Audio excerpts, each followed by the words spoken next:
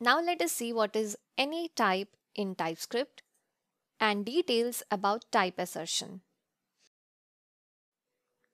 Sometimes few third-party libraries uses dynamic types or may have an object literal which doesn't have a specific type.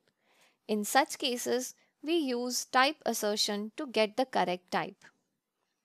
The syntax for asserting a type is to place the type inside the angle brackets in front of the variable. Here I'm using number type and any value is my variable. Or alternatively, we can use the as keyword after the variable and specify the type that it should be. Here, any value again the variable and number is the type. Let's see this type assertion in action now. I'll demonstrate this at the end of this file. Now let me define a variable with any type. Defining a variable with any type means we can assign value of any type to the variable. It might be string, number or boolean. Here I have initialized it as a number type. Now when I try to assign a string value to it, the compiler doesn't give me any error.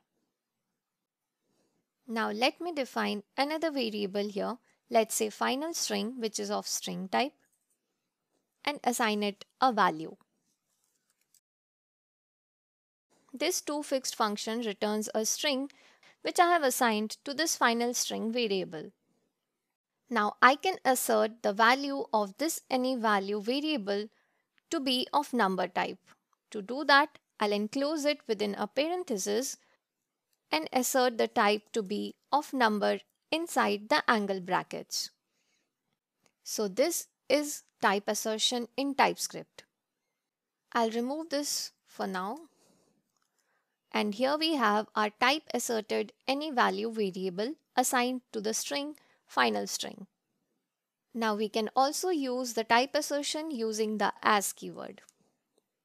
Let's say I'll change it to final string 2 and here any value as number.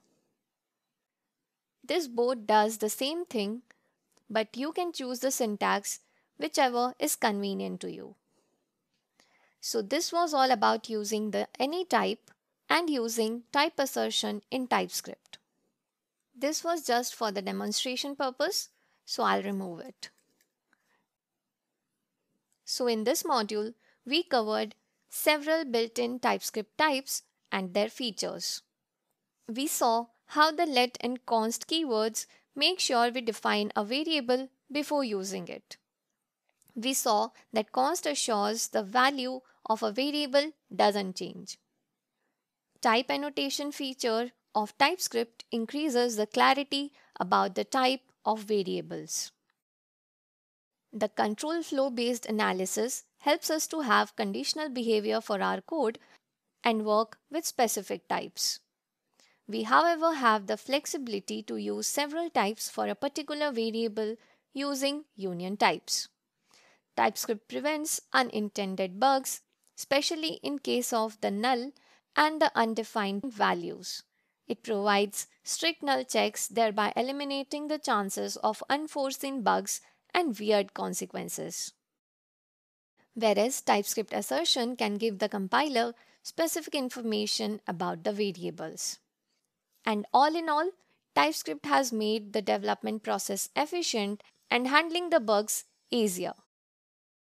So this was all about using types in TypeScript. Let us now move further a step ahead and use this type annotations and assertion property to write better functions and use them efficiently in TypeScript.